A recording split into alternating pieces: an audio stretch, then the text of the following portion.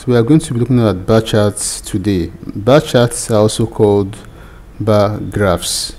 It's a graphical display of data using bars of different heights which are spaced out equally. So this is an example of a bar chart. The bars are not joined together unlike you have it for histogram. The bars are spaced out and the space you are to use between the bars must be the same if you are using one centimeter you must use one centimeter here also one centimeter here and one centimeter here. It can be two centimeter it can be 1.5 centimeter spacing. But the space at the beginning in front of the first bar does not matter. What matters is that you use the same spacing for the other for the in between the bars in between the space in between is what's important important. They must be equal. So let's look at an example. The data shows the type of uh, movie preferences of a person. Represents the data on a bar chart. When you are done what percentage of people love documentaries? B what fraction of people love movies so let's represent this information on a bar chart. You will need your y-axis and your x-axis. This is the y-axis.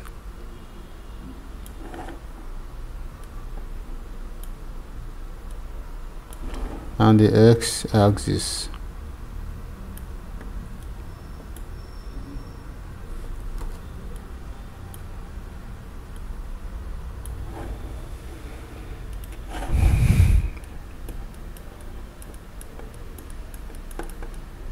X-axis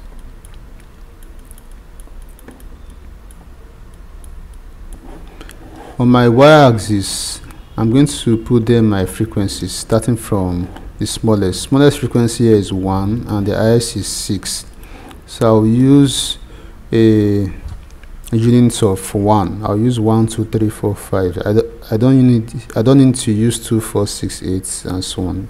So I'll use unit of 1 for my frequency. And I'll use two line spacings two line spacing. That's one two three four five and six. So here will be for my my movie preferences. Comedy action documentary drama and science fiction are the movie preferences. So movie preferences.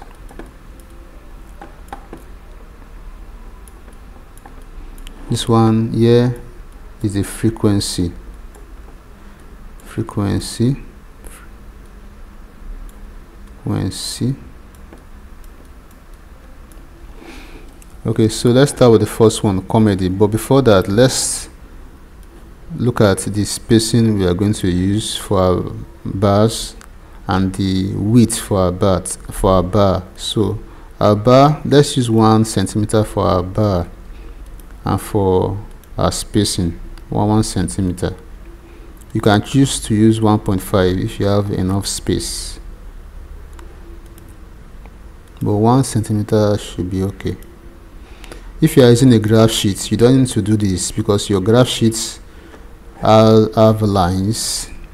Graph sheet have lines on them. So that will guide you as to the spacing to use. So look at your graph sheets. Graph sheets have lines already in them. So these lines so you don't need to measure uh, when you're using a graph sheet. But if you're using a paper like this one you need to measure out your bars and your graph and your spacing.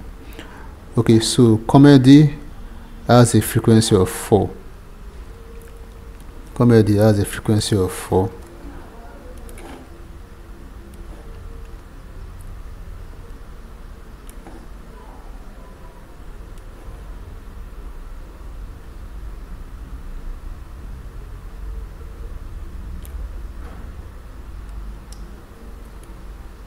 so I'll represent comedy with C.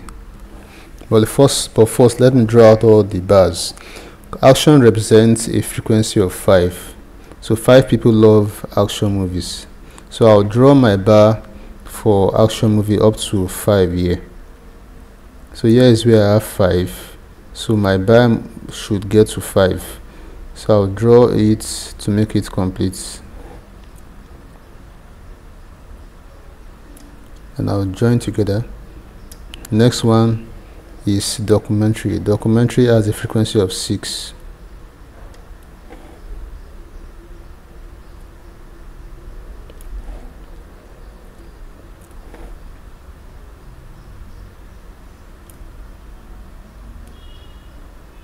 next one is drama. Drama has a frequency of 1 just one person likes drama.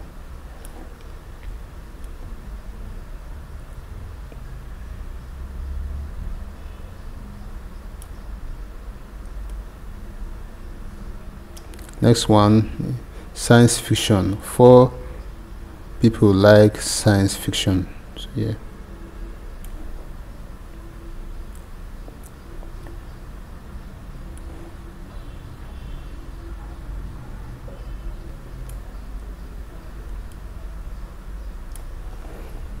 so that's all.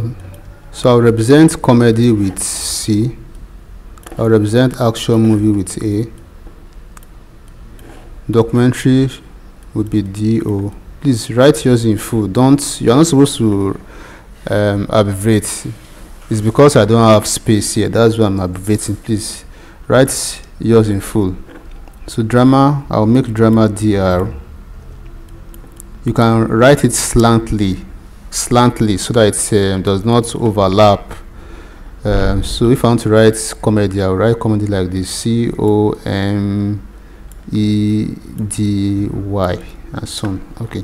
The last one is science fiction SF. So if you are asked what is what movie preferences does or do people like the more or most? What what movie preferences do people like most? My answer will be a documentary because documentary has the highest rectangular bar or the highest frequency. So let's look at this question. What percentage of people love documentaries? First of all, take note of the number of people that love documentary. Huh? So six people love documentary.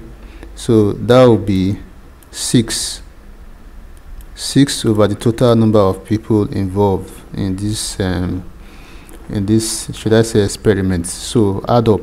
Five plus 4 plus 5 9 9 plus 6 is 15 15 plus 1 is 16 16 plus 4 20 so 6 out of 20 people love documentary.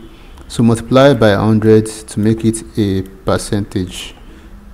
0 cancels 0 here 2 here 1 2 and 6 is 3 so 3 times 10 times 10 is is 30 so 30% love documentaries. B. What fraction of people love action movies? So action movies, 5 people love action movies. So that will be 5 over the total number of people involved. 5 over 20. So this is the fraction of people that love action movies.